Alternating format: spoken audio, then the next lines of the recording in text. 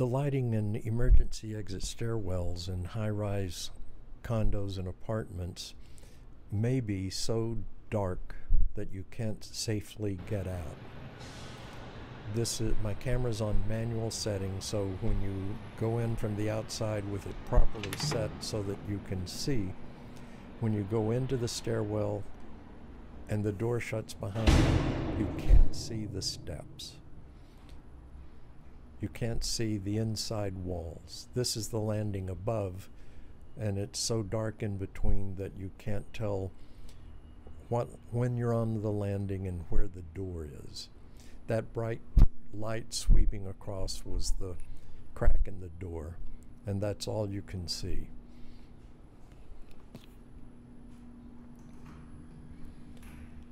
And then when you open the door and go back outside, it's fine.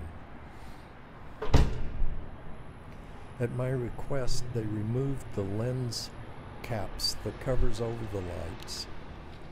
And it turns out the lights themselves are fine. It's the covers over the lights that are have aged so badly that you can't see when the door shuts. And here with the lights bare, you can see the edges of the steps, you can see the different landings, and you can tell where the steps start and where they end.